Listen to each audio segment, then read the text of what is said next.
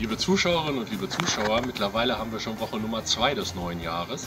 Und wie versprochen werden die Walsroder Zeitung und der TV Walsrode euch auch weiterhin gemeinsam mit den Sportlerinnen und Sportlern der Region sportlich durch diesen besonderen Winter begleiten.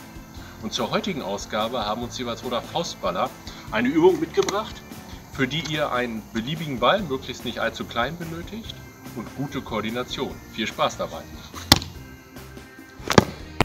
Eine Aufwärmübung aus dem Faustballprogramm zum Aufwärmen des Bewegungsapparates und zur Schulung der Auge-Hand-Koordination. Der Ball wird viermal hochgehalten, dafür werden beide Arme benutzt. Danach wird der Ball noch dreimal hochgehalten und vorne, hinten geklatscht. Wenn dies auch erfolgreich bewältigt wurde, wird der Ball zweimal hochgehalten und beide Handflächen dabei auf den Fußboden gesetzt. Und als letztes wird der Ball hochgehalten und sich um die eigene Achse gedreht. Und wenn ihr Lust habt, das gerne machen und uns herausfinden.